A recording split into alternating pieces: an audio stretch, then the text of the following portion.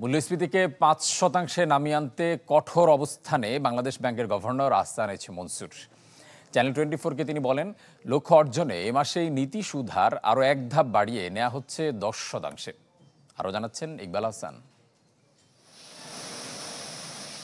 দেশে বিনিয়োগ কেমন হবে তার অনেকখানি নির্ভর করে বাজারে টাকার সরবরাহের ওপর, যা ঠিক করে থাকে কেন্দ্রীয় ব্যাংক। একই সাথে জিনিসপত্রের দাম বৃদ্ধির প্রবণতা নিয়ন্ত্রণের দায়িত্বও সংস্থাটির। কিন্তু গেল দুই বছর ধরে চড়া মূল্যস্ফীতি প্রশ্নবিদ্ধ করেছে নিয়ন্ত্রক সংস্থার ভূমিকা।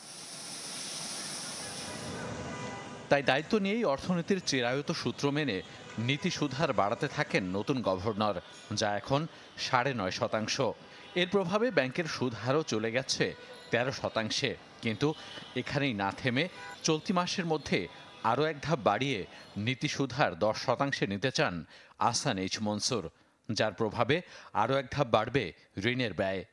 এই ব্যয় কমিয়ে দেবে বেসরকারি বিনিয়োগ, সেই প্রভাব পড়বে কর্মসংস্থানেও। প্রশ্ন হলো, ঋণদাতাদের শর্ত মেনেই কি নেওয়া হচ্ছে? এইসব সিদ্ধান্ত? রেট বাড়াচ্ছি। এটা আইএমএফ আমাকে বলে নাই। আমি এটা দশ পার্সেন্ট নেব ইনশাল্লাহ। এই মাসের শেষে আরেকটা ধাপ বাড়বে। তারপরে আমি পজ করব। আমাদের তো নয় ছয় ছিল। নয় ছয় কি বিনিয়োগ বেড়েছে? বাড়েনি। যখন পনেরো ষোলো ছিল তখন কি বিনিয়োগ বৃদ্ধি ছিল না? ছিল। কাজে এটা দিয়ে আমি বলব না যে ইনফ্লেশন ইন্টারেস্ট রেট কমালেই হবে। যে জিনিসটা পনেরো ষোলোর সময় ছিল সেটা হলো ম্যাক্রো ইকোনমিক স্টেবিলিটি ছিল। শুধু নীতি সুধার নয় মূল্যস্ফীতি নিয়ন্ত্রণে বন্ধ করা হয়েছে।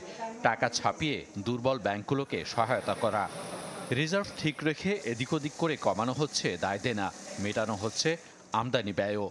এছাড়া বাজেট ঘাটতি পূরণে সরকারের এক লাখ সাঁত্রিশ হাজার কোটি টাকার লক্ষ্যমাত্রা কমানো হচ্ছে অন্তত পঞ্চাশ হাজার কোটি।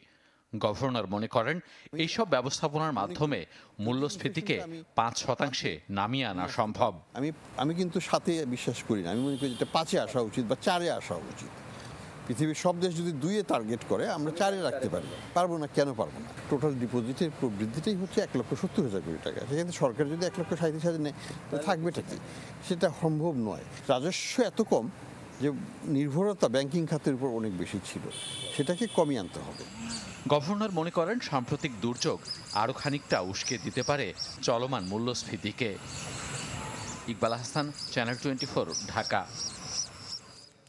নানামুখী উদ্যোগ সত্ত্বেও চাপে থাকবে বাংলাদেশের অর্থনীতি। অর্থবছর শেষে মূল্যস্ফীতি সামান্য কমলেও প্রবৃদ্ধি নিয়ে খুব বেশি সুখবর দিতে পারেনি ঋণদাতা সংস্থা বিশ্বব্যাংক। বাংলাদেশ ডেভেলপমেন্ট আপডেট প্রকাশ অনুষ্ঠানে এসব জানায় সংস্থাটি। কোভিডের ধকল এখনও ভোগাচ্ছে বাংলাদেশের অর্থনীতিকে। সাথে যোগ হয়েছে অর্থ বছরের শুরুর দু মাসের রাজনৈতিক অস্থিরতা, যার ফল আমদানি রপ্তানি সহ ব্যবসা বাণিজ্যে ধীর গতি। রাজনৈতিক পট পরিবর্তনের পর নতুন সরকারের ব্যবস্থাপনায় কোথায় গিয়ে দাঁড়াবে দেশের অর্থনীতি, তা উঠে এলো বিশ্বব্যাংকের এই অনুষ্ঠানে। বলা হয় চড়া মূল্যস্ফীতির হারে বিপর্যস্ত সাধারণ মানুষ, যার প্রভাব নিত্যপণ্যের সরবরাহ ব্যবস্থায়। সমস্যাকে বাড়িয়ে দিচ্ছে জ্বালানির উচ্চ মূল্য। পরিস্থিতি সামলাতে সফল হয়নি নীতি সুধার পরিবর্তনের সিদ্ধান্ত। বেড়েছে খেলাপি ঋণ, রয়ে গেছে তারল্য সংকট। Our projections for this particular uh, fiscal year, which is fiscal year 25, uh, is that G real GDP is projected to decelerate to around 4%. Reform reforming the financial sector is also urgent, an urgent requirement to ensure financial stability and also to encourage the private sector to get involved, to get the private sector to invest more. সব মিলিয়ে আগামী এক বছর বেশ চাপেই থাকবে সার্বিক অর্থনীতি যার ফলে প্রবৃদ্ধি হতে পারে চার শতাংশ। তবে পরিস্থিতি সামলে নেবার চেষ্টাও রয়েছে সরকারের। সুশাসন নিশ্চিতে করা হয়েছে টাস্কফোর্স ক্রোলিং পেগ পদ্ধতি চালুর ফলে বেড়েছে রেমিট্যান্স দেখা যাচ্ছে বাজার নিয়ন্ত্রণের পদক্ষেপও যার ফলে স্বস্তির জায়গা না পেলেও খানিকটা কমে মূল্যস্ফীতি নেমে আসতে পারে নয়ের ঘরে। Up from the previous fiscal year, just to under 10%. This was mainly due to elevated food prices. Other contributing factors to why inflation was elevated was a depreciation of the currency, supply chain disruptions, import restrictions, and an increase in administered energy prices. সরকারের সুষ্ঠু ব্যয় ব্যবস্থাপনায় পরামর্শ আসে কাঙ্ক্ষিত রাজস্ব আদায়ের বলা হয় ব্যবসা বান্ধব পরিবেশ নিশ্চিতের মাধ্যমে টানতে হবে বিদেশি বিনিয়োগ is that actual outcomes are lower than budgeted outcomes. So this applies both to revenue as well as expenditure outcomes. Imdad Haque channel twenty Dhaka এলো instant milk powder happy cow যেমন সাশ্রয়ী তেমনি পুষ্টিগুণে ভরপুর হ্যাপি কাউ ইনস্ট্যান্ট মিল্ক পাউডারের সাথে ফার্মল্যান্ডের চিনি গুঁড়া চাল একদম ফ্রি আগামীকাল থেকে খুচরা পর্যায়ে একশো বিয়াল্লিশ টাকা চুয়াল্লিশ পয়সা দরে বিক্রি হবে ডিমের ডজন। সেক্ষেত্রে প্রতি পিসের দাম পড়বে এগারো টাকা সাতাশি পয়সা। ব্যবসায়ী, উৎপাদক ও সরবরাহকারীদের সাথে বৈঠক শেষে এই ঘোষণা দেন ভোক্তা অধিদপ্তরের মহাপরিচালক। সংকটকালীন এই সময়ে ডিম বিক্রি বন্ধ রাখার সমালোচনা করে অতিরিক্ত দামের জন্য মধ্যস্বত্বভোগীদের দায়ী করেন তিনি। বলেন, সংকট কাটাতে এখন থেকে বড় বড় বাজারগুলোতে সরবরাহকারীরা ডিমের যোগান দেবেন।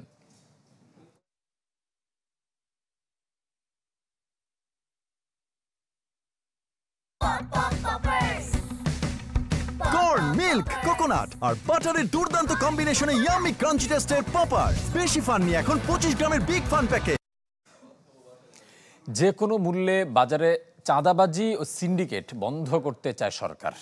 খাদ্য বিভাগের সামনে ভর্তুকি মূল্যে কৃষি পণ্য ও এমএস কর্মসূচি উদ্বোধনে একথা জানান স্বরাষ্ট্র উপদেষ্টা মোহাম্মদ জাহাঙ্গীর আলম চৌধুরী। নিত্যপণ্যের বাজার সামাল দিতে এক প্রকার ব্যর্থ সকল মহল। ডিম কিংবা সবজি যে কোনো পণ্যেই দাম বাড়ছে হু হু করে।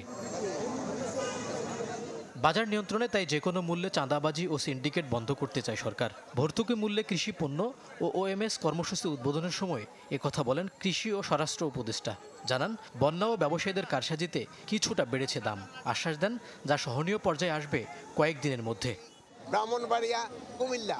এটা যে প্রায় তেইশ বছর কোনো ফ্ল্যাট হয় নাই। আবার এই রিসেন্টলি ফ্ল্যাট হলো ময়মনসিং, নেত্রকোনা শাক সবজি তো কিছুটা ক্ষতি হয়েছে এটা তো আপনি অস্বীকার করতে পারবেন না। মানে এটার জন্যই তো একটু হয়েছে বাট আমার মনে খুব তাড়াতাড়ি বাজার নর্মালে চলে আসবে। জিনিসপত্রের দাম কমে যাবে আল্লাহ দিন কৃষি মন্ত্রণালয়ের এই কার্যক্রমে একজন ক্রেতা একশো ত্রিশ টাকা দরে এক ডজন ফার্মের ডিম, সত্তর টাকা দরে এক কেজি পেঁয়াজ, ত্রিশ টাকা দরে পাঁচ কেজি আলু সহ মোট ছয়শো পঞ্চাশ টাকায় কয়েক ধরনের সবজি কিনতে পারছেন। রাজধানীর বৃষ্টি স্থানে এ সকল পণ্য বিক্রি হবে। আলু, পেঁয়াজ, পটল, কলা, লাউ, তারপরে কসুরমুখী ডিম, কাঁচামরিচ। বারো পদ পাইছি টোটাল এখানে আমি বাজারে গেলে হয়তো বা এই পণ্যগুলো আমি অনেক টাকা দিয়ে কিনা লাগতো।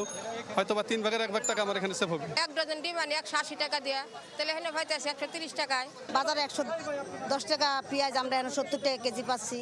পটলের দাম কম পাচ্ছি কলার সব কিছুর দাম আমরা এখন কম পাচ্ছি।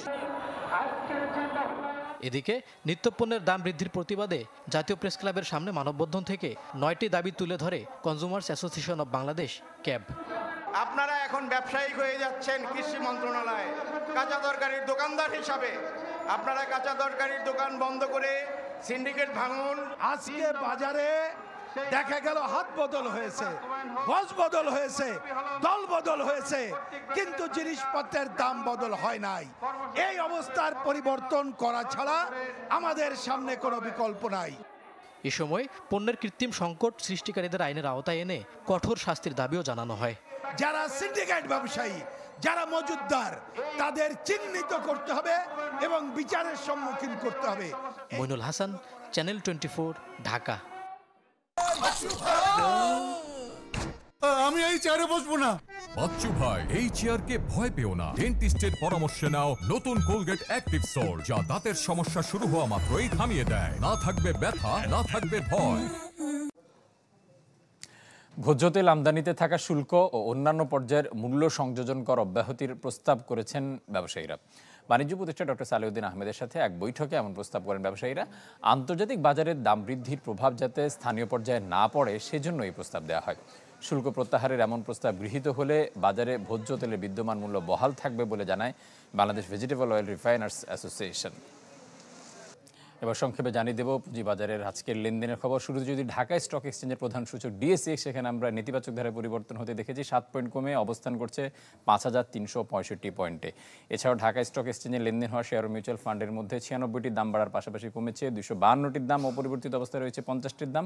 আর লেনদেন হয়েছে তিনশো আঠারো কোটি টাকা। এটি ছিল ঢাকা স্টক এক্সচেঞ্জের লেনদেনের খবর। এই মুহূর্তে আমরা চট্টগ্রাম স্টক এক্সচেঞ্জের সার্বিক সূচক, সেখানেও নেতিবাচক ধারে পরিবর্তন হয়েছে। সাতচল্লিশ পয়েন্ট কমে গেছে, অবস্থান করছে পনেরো হাজার সাতচল্লিশ পয়েন্টে।